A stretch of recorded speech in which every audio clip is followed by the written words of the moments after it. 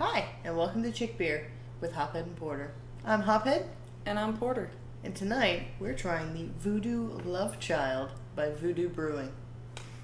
Sounds awesome. It does. It's all kinds of red and crazy. Mm. And check out, okay, this just cracks me up because it's very silly. The label is pretty great. It's this dude in his underwear with a helmet on. Yeah. I mean- and he's kind of fat. Yeah, and there's flames around him. And it's called Voodoo Love Child. It cracks me up. It's great. It's that's like pretty random. The, the football helmet is, it, really makes it.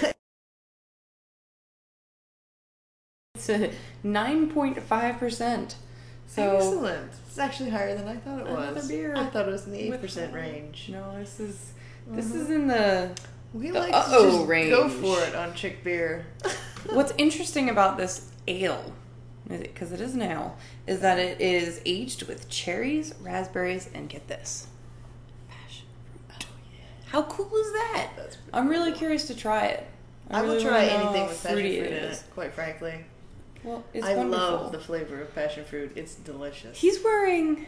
He's wooden got clogs. on. He's got clogs with little. Oh, it's awesome. like- and and socks with stripes too. Yeah, look at that. This He's is got it. like gym socks on and, these wooden clogs. very traditional clogs. Yeah, indeed. Oh, that's great. It's very odd. Oh, I'm, let's Big pop this open and just go for it. I'm, I uh, agree. Where did I put there? it is. Hopefully, it won't explode. No, see, I'm opening it. I know how to open. You know how to pour. See, we're it's yin and It's a symbiotic relationship. It is. We need each other, otherwise we both fail. you pour. Excellent. Mhm. Indeed. And we're using goblets tonight. Uh, we thought this is a Belgian ale, so we thought we'd go for a goblet style glass. And these are actually kind of a family heirloom kind of thing. which Yes, is- they are. Makes them more exciting. Woo, look at that. It's very light color. Mm-hmm. I think it's probably the label. I was but I expect it to expecting be red. reddish. Yeah. I I think it's the label. Yeah, it totally is. All right. Well, I'm really curious about this. See how light it is? But the thing very is, light. you can see a lot of sediment floating around in there. Yeah, There's it's a very lot. cloudy. It's also very fizzy. Mm-hmm. Extremely fizzy. Oh, it smells awesome. Fruity, very cherry, but very Really? light. I couldn't pick out any of the. Oh. It smells fruity overall, but I couldn't pick out any actual fruit. Oh man, the cherry is Yeah? very evident. The cherry is very heavy. Let's I'm, taste it. yeah, I can't wait to freaking taste this. Cheers. Voodoo Love Child. Oh.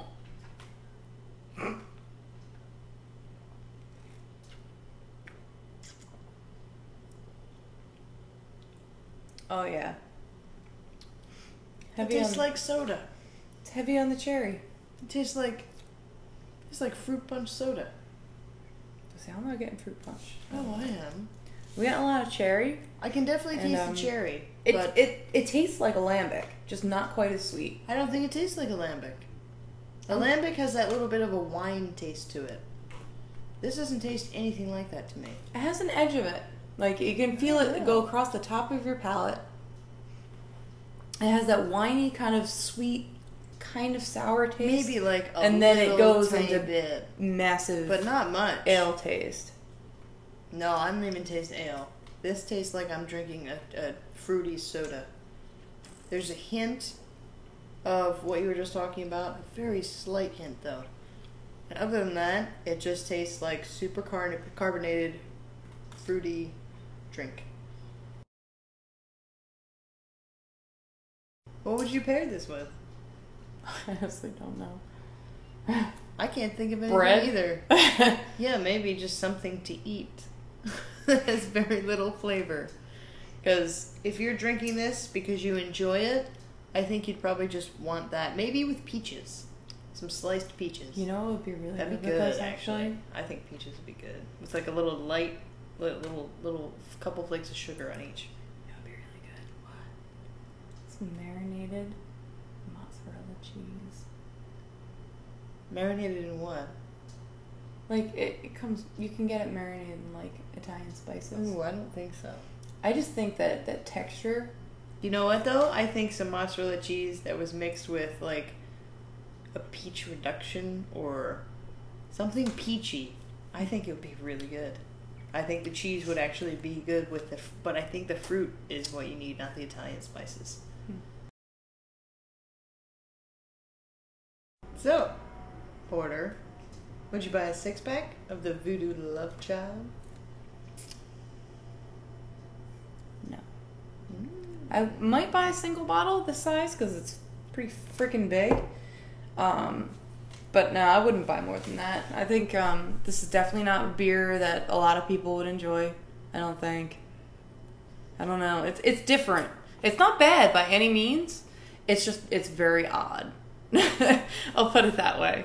Um, I think you know, just kind of chilling out, or you know, one or two people hanging out might not be you know a bad like novelty thing to try but um yeah i wouldn't like keep this stocked or anything. It's not like a midas touch or you know any of that so Right.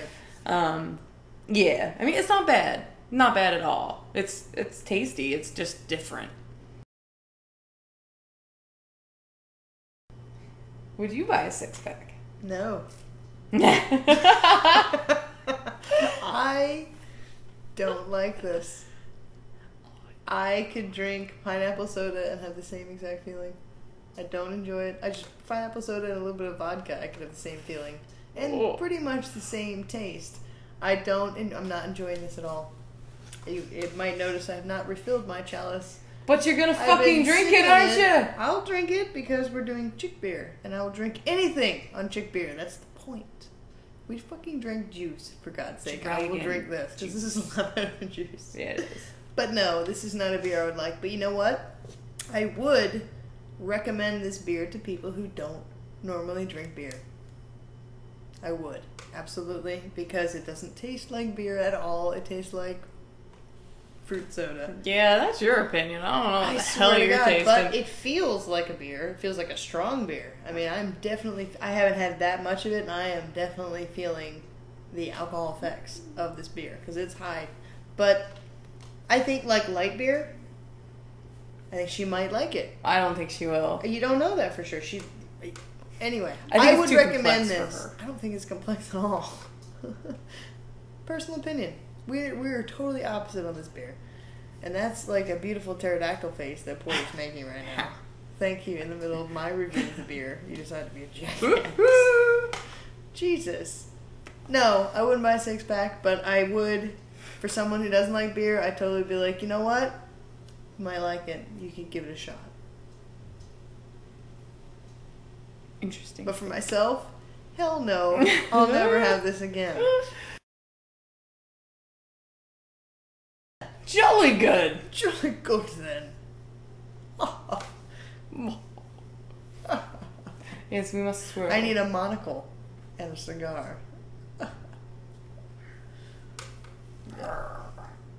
You, I was Picture the going monocle. for English sophisticated. You were going for pirates.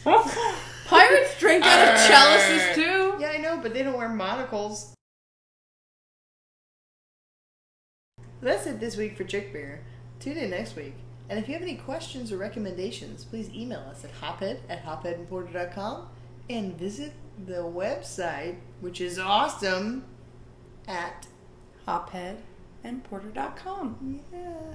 Mm, drinking beer. Not Oh, good video. This Oh. beer sucks. Cheers. We love you. Please email week. us. Tell us what to drink. We will try it, no matter how ridiculous it And sounds. if you want to drink beer with us, please email us yeah, as well. We're open to that. We're cool. we are. You do the traveling. We'll Mm. provide the beer. We need the backdrop. It's very important. Fills this out. Makes us crazy. Cheers. From Hophead and Porter. Dot com. Dot com.